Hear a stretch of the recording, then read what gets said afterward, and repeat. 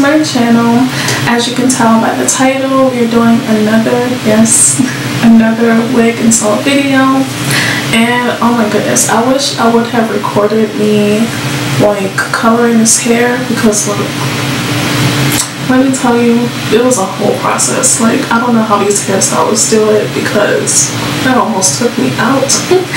but um, yeah, sadly, I didn't get to record the process and coloring it. But well, I was on Instagram and I've been looking at like ash blonde and I've seen like a cinnamon copper color so I do want to try those two next and I am going to record it.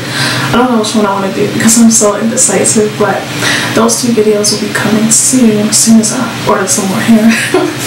But um, if you want to see how I achieved this install or how I did my install then just keep on watching